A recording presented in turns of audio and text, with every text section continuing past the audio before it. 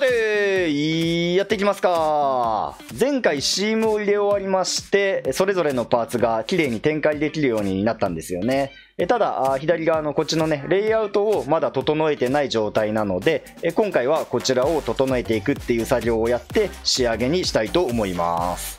それでこの棒人間のモデルこれ足なんかを選択してもらうとよくわかると思うんですがミラーモディファイヤーを使っている関係でこの 3D ビューの方はね足が両方あるっていう感じなんですが UV の方こっちはね片方側しかありません。というわけでね、今回、まあ、この際ね、あのー、モディファイヤーの方をね、全部適用していきたいと思います。モディファイヤーを適用してしまうっていうのは後戻りができないっていうことになります。なので、えー、ここで重要なのはこのバックアップをしっかり取っておきましょうっていうことですね、えー、まずこのボディ01っていうのを選択して、えー、シフト D でデュプリケートします。でそうするとねこのボディ01.001っていうのが新しくできるのでこれリネームして、えー、ただ単純にえー、ボディという名前にします。で、えー、ここでね、えー、こうコレクションの上でニューを選択して、はい、このコレクションの中にもう一つコレクションを作ります。で、これ、リネームしまして、えー、バックアップにしておきましょう。で、ここに、まあ、あの新しく作ったボディの方をえーまあ、これから編集していってこの元々あったボディ01の方をバックアップに入れましょう。はいドラッグドロップ。でデフォーム系のねアームレッグ頭装のメッシュもこれも一緒にバックアップの方に入れておきます。で、えー、ボディ01の方を非表示にしましょうかはい、えー、この状態で、えー、この 3D のビューポートの方には、あこれからあ作業していくボディというメッシュが残った状態になります。今このボディというオブジェクトには5つのモディファイヤーが使われています。これを全て適用ですね。アプライボタンを押していきます。でここで重要なのは上から順番にアプライボタンを押していってください、まあ、下からだとか途中からだとか順番がね変わってしまうとまた結果が全然別のものになってしまうので上から順番に5つ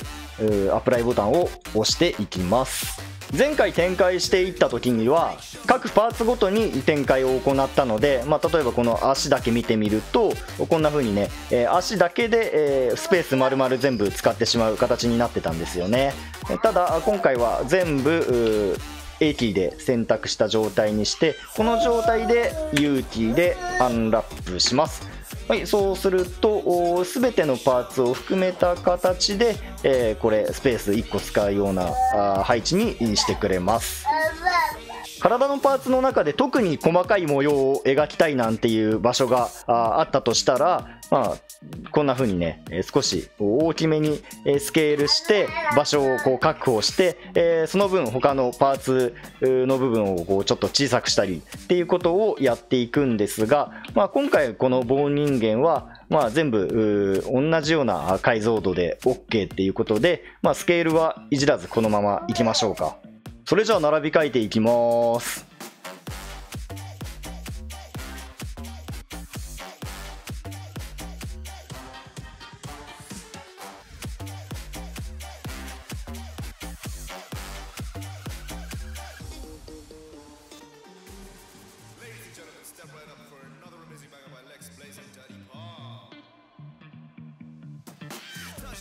はい出来上がりました。こだわりポイントとしてはねこの顔と体のパーツはねこう上下、えー、ちゃんと揃えて、えー、斜めじゃなくてこう縦横ちゃんときっちり揃えてあります。それからねあのー、まあその他の手足のパーツですね。はい、えー、こんな風に、えー、向かって、えー、左側、まあ、右手右足っていうことになりますが向かって左側になる方の手足はあこっちの UV の方でもちゃんと左側に配置してあって、え、まあ、右側もももちろん一緒ですね、え、こんな風な配置にしてあります。この向きとか位置っていうのはプロで活躍する人たちにとってはペイントソフトの方で、まあ後からどうにでもなる話なので、まあ、あのそれよりはねこの今ぽっかり開いてしまってる無駄な隙間この辺をこうもう少し各パーツ拡大したりだとか向きを変えたりだとかして、えー、ちゃんとにね埋めていって、えー、テクスチャーのスペースをね少しでもこう大きく確保するっていうことに注力するっていう方がまあ多いかと思うんですが、ま、僕みたいな人間にとってはパッと見分かりやすい方が都合がいいので、え、こういうような形のレイアウトにしてあります。UV 展開の作業はこれでおしまいで、えー、あともう少し最後の仕上げをしていきます。まずね、このバーテックスグループ、これ全部削除してしまいます。まあ、4つありますね。これを全部、えマイナスボタンで削除してください。あの、バーテックスグループ削除したっていうのは、後からこのボーンを仕込んで、え紐付けた時にね、えここバーテックスグループに、えボーンの名前で、えずらっとグループができるんですね。それとごっちゃにならないように今削除してしまいました。で、この棒人間3頭身で作りやすいように今3メートルのスケールで、え作ってあるんですがこれ本当は人間っていうのはね、えー、まあ2メートルのスケールでやるのが多分正しいかと思うので、えー、そこを調整したいと思いますエディットモードに入ってで、えー、縮小していくんですがあここ今この 3D カ 3D カーソルのある原点、えー、この部分を中心にスケールしたいですよね、えー、というわけで上のこの欄からあ 3D カーソルを選択します、この状態でスケールしていくとはいこんな感じで、はい、3D カーソル中心になりますで、この S キーが押された状態で、え、3分の2なので、え、0.66666って打ってください。はい、そうすると、ね、3メートルだったものが2メートルにスケールすることができます。これでオブジェクトモードに戻ります。ここはデフォルトの Median Point に直しておきましょう。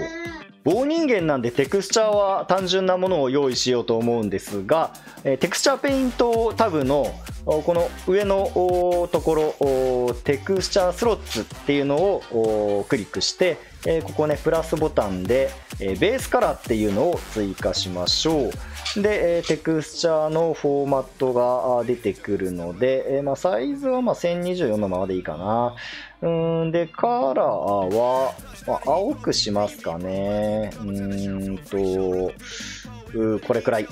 はい。で、えー、これで、えー、OK を押します。今やったみたいにテクスチャースロッツでテクスチャーを生成すると何がいいかっていうと、こんな風にもうデフォルトでマテリアルを組んだ状態で用意してくれるんですよね。なので、あのテクスチャースロッツっていう機能を使いました。そうだ、テクスチャーはあ名前にドットとかスペースとか入ってると嫌なので、えー、リネームしておきますか。あフリーマン、アンダーバー、ベーベースカラー。はい、これでいいでしょう。はい、皆さんお疲れ様でした。ちょっと大変だったと思いますが、こんな感じで全てね、しっかり完成させることができました。次は骨を入れていく、いわゆるリギングという作業に入っていくんですが、ちょっと迷ってまして、えっていうのは、あ今はパート9なわけですが、次のパート10として、えリギングの動画をこう出していくのか、それともね、新たなシリーズとして始めて、えー、まあ、パート1からあまた新たにね、え、動画出していくのかっていうところをちょっと決めかねてます。うんまあ、あのやっていく内容としてはね、今作ったこの、えー、棒人間のアセットを使って、えー、やっていくので、内容はまあ全く同じになるんですが、多分ね、リビングだけ学びたいっていう人もまあいるかと思うんですよね。でそういう人たちがね、まあ、あのパート10からまあ見ていくっていうのもちょっと疑問に残るところだと思うので、うーんどうしようかなと思っているところです。本当はねこのリギングっていう作業をただ骨を入れて動かすっていうだけじゃなくて、えー、少し応用的なところも紹介していこうかなと思ったので、まあ、そういう意味も含めて「えー、クロの道」っていうタイトルをつけたんですけどねうんまああのー、パート10にするか新たなシリーズのパート1にするっていうのか、まあ、次までに、え、決めておきますのでよろしくお願いいたしますと。というわけで、えー、まったね